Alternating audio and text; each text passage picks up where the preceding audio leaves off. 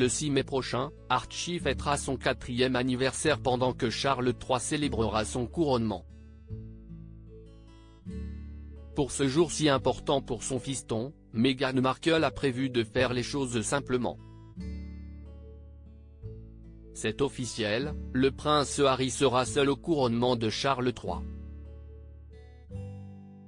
Comme confirmé par le palais de Buckingham, le duc de Sussex ne sera pas accompagné de Meghan Markle et de leurs enfants pour ce jour historique.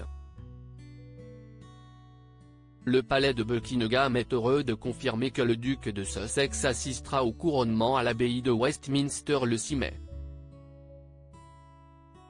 La duchesse de Sussex restera en Californie avec le prince Archie et la princesse Lilibet, a annoncé le palais royal dans un communiqué officiel.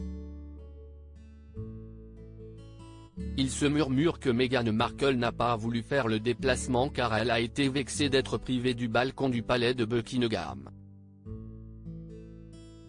La disgrâce d'être exclue du balcon de Buckingham Palace était plus qu'elle ne pouvait supporter. Comme cela aurait été excitant pour lui, Archie, note de la rédaction, de voir les soldats, les voitures et les chevaux des armées de son grand-père. Quel dommage qu'il se soit vu refuser cette opportunité, même si si est difficile pour ses parents, a souligné l'experte Ingrid Seward auprès du Mirror. Il faut dire aussi que l'ancienne actrice souhaite rester auprès de ses enfants, car Archie va fêter son quatrième anniversaire le même jour que le couronnement de son grand-père.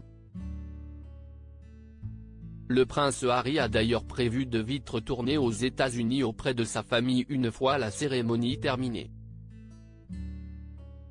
Une journée en famille pendant ce temps-là, Meghan Markle s'occupera de fêter le quatrième anniversaire de son fils comme il se doit. Comme l'explique un proche du couple à People, la duchesse de Sussex a prévu des festivités en famille. Ça va être une fête discrète à la maison.